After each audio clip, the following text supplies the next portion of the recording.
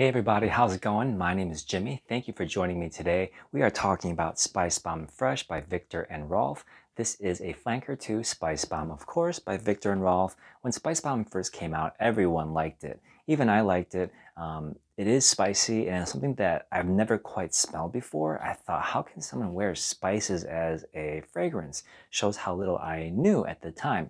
But now I can totally see. But after smelling spice bomb on other people and how much they would spray and how pungent it was, I mean, why would you want to smell like a spice cabinet? It does not make sense to me. It does not smell good, even though there is a slight designery take on it. I get it. But for me, it did not work well for me. So after smelling it on a few people and how it killed it for me, no more spice bomb for this guy. Um, what I was looking for, um, not recently, but a while back when I got this fragrance was a barbershop scent. And I've checked out many uh, niche barbershop fragrances, including um, Maison Martin Margiela, which is more of a designery um, take on uh, barbershop scent. Uh, at the barbers, I did not like that fragrance. And uh, for those of you who like it, it's um, very well known and very well liked, but it's just kind of too airy for me. I couldn't pick out what was in there. Maybe it was kind of like ozonic. I'm not sure what was going on with that fragrance, but it didn't sit well with my nose. So I'm still on the hunt for a barbershop scent, and I think this is where uh, it fits. Uh, Spice Bomb Fresh, when I first smelled it, I was like, man, this is that barbershop in my head.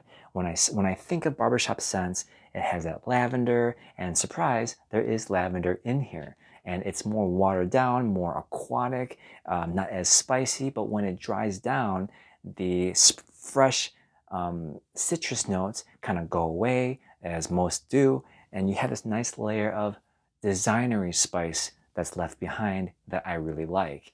If you spray this on clothes, it lasts even longer. And but I don't think it like really pushes off too much. If you walk by someone, they'll smell you, but you can't just stand there. It's not going to radiate to the ends of the earth. That's not what this kind of fragrance is. Spice bomb, spice bomb.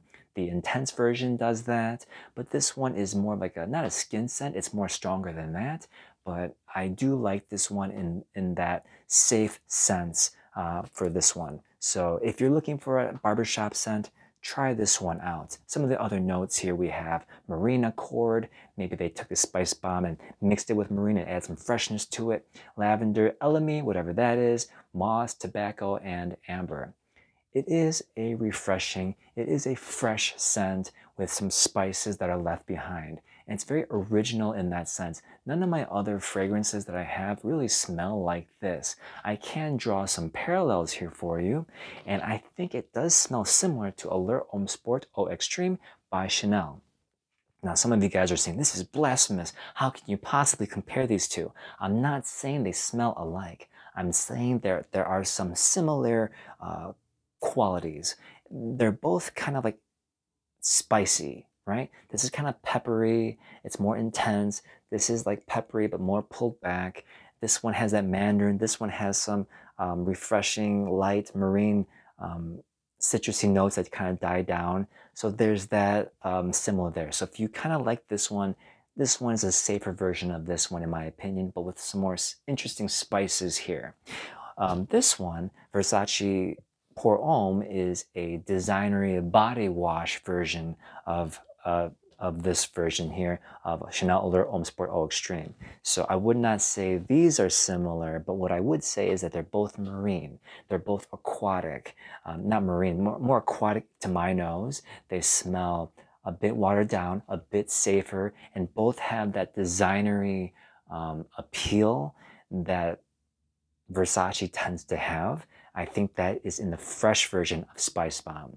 So if you're looking for something like Spice Bomb and you think like, man, I wish there was a barbershop scent out there that is super safe, that's a little on the lighter side, that's not gonna push off to everybody in the bus that you're on, then definitely check out this bottle here, which happens to be a 100 ml bottle, a tester version, which is the same as a retail packaging here. Uh, the Spice Bomb Fresh by Viktor and Rolf. I think you'll definitely like it. When it first came out, no one really liked it, but I really loved it from the first moment I've smelled it. And it's time that I let people know that I like it in case it gives you a chance to try it out yourself. I'll see you next time. Have a good day. Bye bye.